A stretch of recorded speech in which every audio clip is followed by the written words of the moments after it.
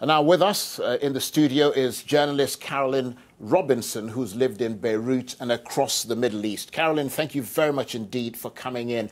Give us the background to this unfolding crisis in Lebanon. What's the history behind it? I think Rami Khouri touched on that very well. Uh, these tensions do go back decades and even longer. And uh, Lebanon has always been a, a, kind of a proxy playing field for everyone to fight out their own internecine battles. So, uh, well, that's what we're seeing again, I think, and and it can continue on. The the, the key thing is. How can they keep it together? Is, are we going to see a, a, big step forward in the, in the violence? Uh, or is this just going to bubble along like it does? Lebanon has an amazing ability to do this. So I don't, I, you know, this is absolutely. That's a very good point. But I mean, you know, to an outsider looking in, it just seems like there's so many groups and constantly shifting sort of alliances. What, what's it mainly about? Big question, eh? Yeah, it sure is. I, I mean, I, when I lived there, I was always amazed that they managed to keep it together. Uh, the Lebanese have a saying that we'll just sleep, uh, sweep up the glass and go on with our lives. I think that that's why there hasn't been an Arab Spring, so to speak, in the same way that we saw in mm. Egypt and, and, across the North Africa. And of course, in, in, the middle of all of that is is a refugee problem. Mm. That is another destabilizing factor because uh, not only have the Palestinian refugees been there for decades and decades, now we've got the Syrians coming across as well. How much can this tiny little country of three million people hold? How much? How many different struggles and tensions and conflicts can it can it hold? It's one of the most complicated pieces of geography on the planet. I would now, say. Now, now give us a sense of where this bomb exploded today. What's the um, what's the geographical composition? Mm. Is it government buildings mm. and, and, all of that? Well, tell us a bit about where yeah, it took place. It's right downtown. It's right in the middle. It's very close to the government buildings, which is an indication of what they were trying to say. Why did why did they target it right there?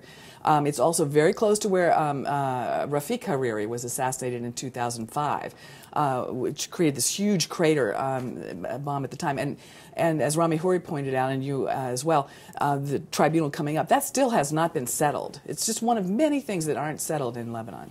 Carolyn Robinson, thank you very much indeed for joining us. My pleasure.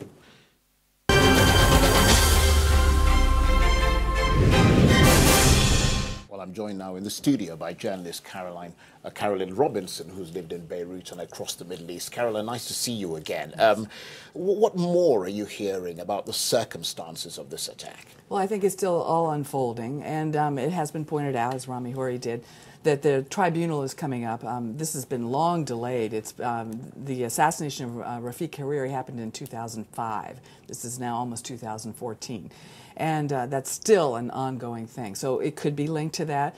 Um, there's other uh, points that apparently an hour before uh, the blast, um, the, the, the, former uh, minister had tweeted something saying that he was against, you know, what was going on in um, uh, the, the, Shia. The Shiites were trying to take control of the country.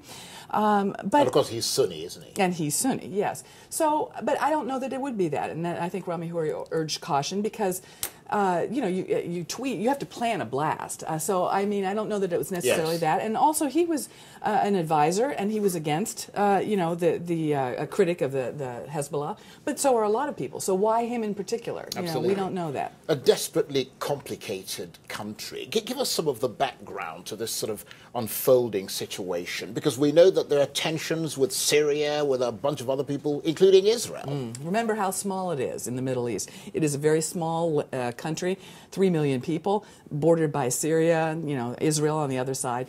So, uh, yes, I mean, you have the Syrian conflict, the, the refugees coming in from Syria, uh, also destabilizing the country. How much can they hold? The Palestinian refugees who have been there for decades. And then you have the ongoing struggle uh, against uh, Israel, which uh, there's been some um, uh, issues around the border just recently. So it's, it's contributes to the instability of the country. And how it holds together is a miracle.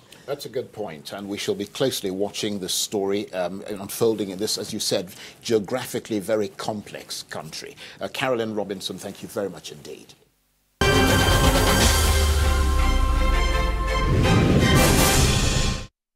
that for the moment, but we'll try and get back to that later. Well, I'm joined now by journalist Carolyn Robinson, who has lived in Beirut and across the Middle East. Thanks very much indeed for joining us. Now, there seems to be a fault line running right the way from Lebanon all the way down to the Gulf states between Shia and Sunni. This just part of this? Yes, it's a very big part of it. Uh, what are Hezbollah's uh, intentions and the Shia uh, minority in the country? Um, for years, they've been jockeying for power. Uh, is this part of that? I'm sure there's some of that. Um, and also, I'd like to just read the last tweet that Chatah tweeted moments before he was killed. Uh, he said, Hezbollah is pressing hard to be granted similar powers in security and foreign policy matters that Syria has ex ex exercised in Lebanon over the last 15 years. And Hezbollah, of course, is a supporter of Syria. So this is all playing out once again in the battlefield of, of Lebanon. For decades, this has been a proxy war between various powers. So we're not really talking about religion, we're talking about power.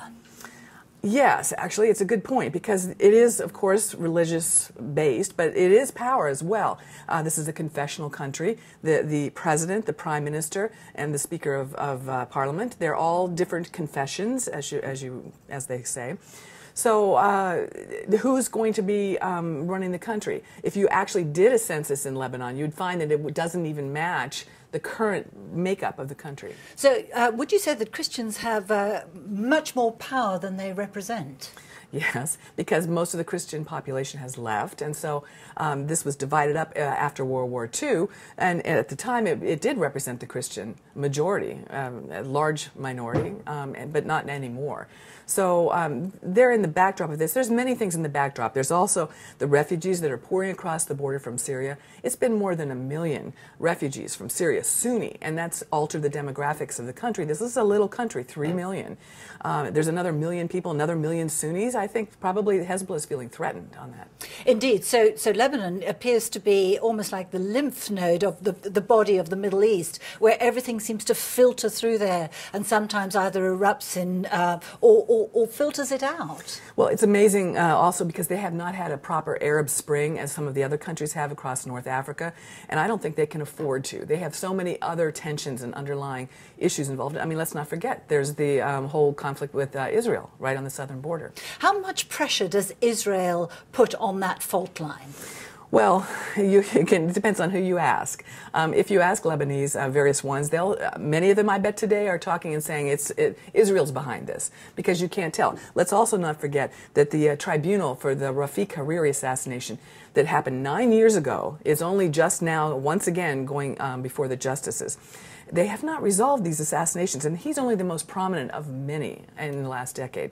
So um, some people would have said that Israel organized this. I'm not saying that, but you'll hear that. Depends on who you ask. But and yet Syria, though, has actually really kind of almost put a, a sharp elbow into Lebanon in terms of actually uh, what is going on. Le- Lebanon was sort of had this uneasy pattern of, of living with all these different uh, sects and groups. But Syria is really pushing things beyond, um, you know, what they can, the capacity they have. Sure, because um, uh, Syria um, ran uh, Lebanon for years, and they only pulled out in 2005 and they only, I think, they only got an embassy uh, between the two countries um, in the last few years. So they've really considered Lebanon as part of Syria. So that has that mindset hasn't really changed. What about the Lebanese people themselves? You lived there. Mm. Uh, what's it like in Beirut? They have an amazing uh, personality and, and, overall demeanor.